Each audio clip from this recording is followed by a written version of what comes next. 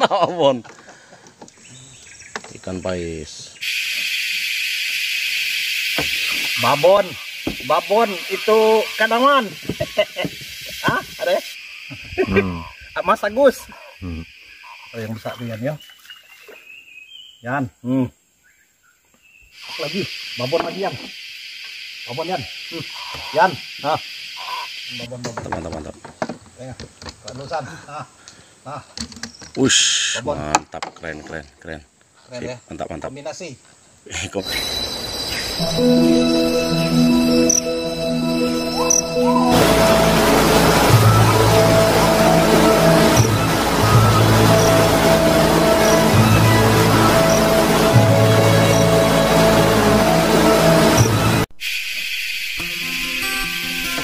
Babon.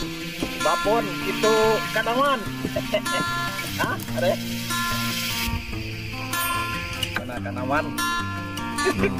Mas Agus. Lintang-lintang apa yang tuh Yan ya. Hmm.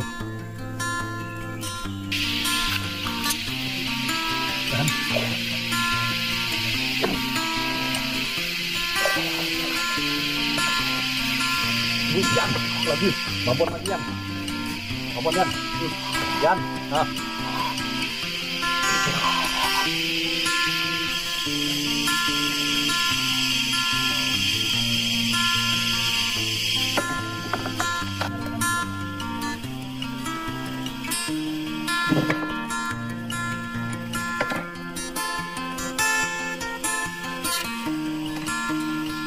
อาต้อง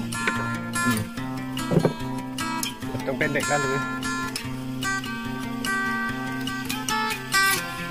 Kita aja. Ketemu. Yang kali ini kan kau kena lepas.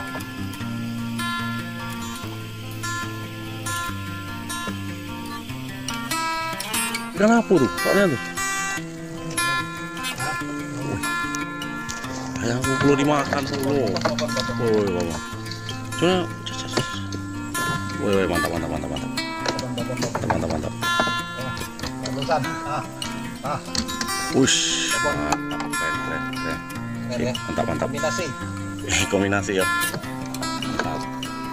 Jangan aku mulut. Tengah babon.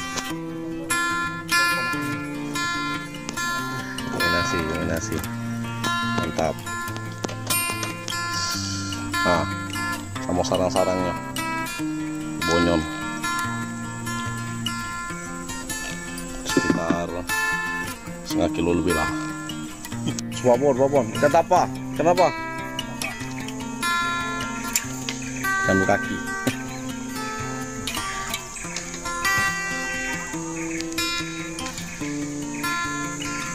Mantap. Hidup dah.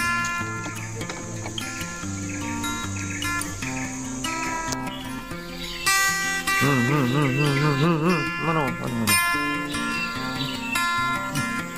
Dan dah. Dah.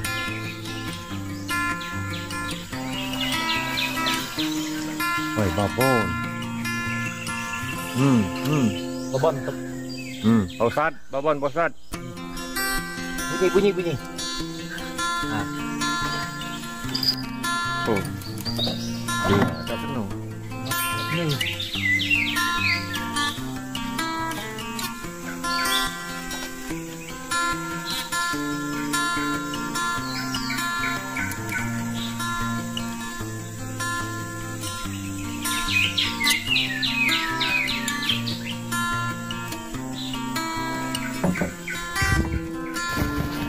Lagi tua.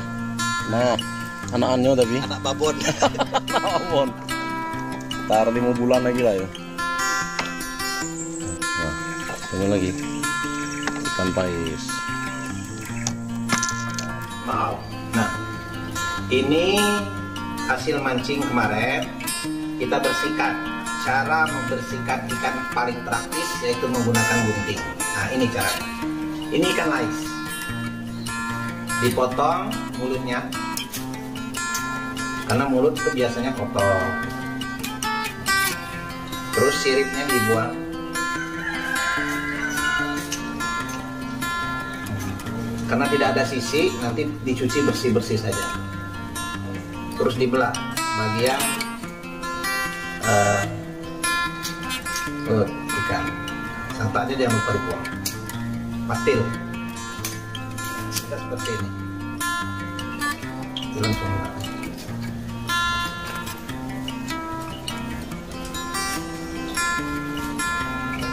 Hmm, bersih nah. Tinggal dicuci bersih bersih cukup seperti ini. Kalau mau dipotong nanti dipotong. Membersih ikan baung nah ikan baung tetap menggunakan gunting pertama siripnya kita buang. Apa apa ini. Dan kanan sirip atas Hmm. bawah. Sirip bawah biar bersih. Terus kalau santannya sudah dibuang pada saat mancing atau patilnya. Terus ini. Hidungnya. Atau mulutnya. Terus dibuang.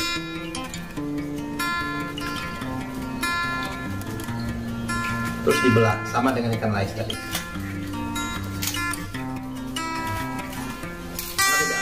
sisi nah ikan ini nanti bisa dibersihkan lendir-lendirnya ataupun istilahnya kotoran yang ada di badan ini kita buka insang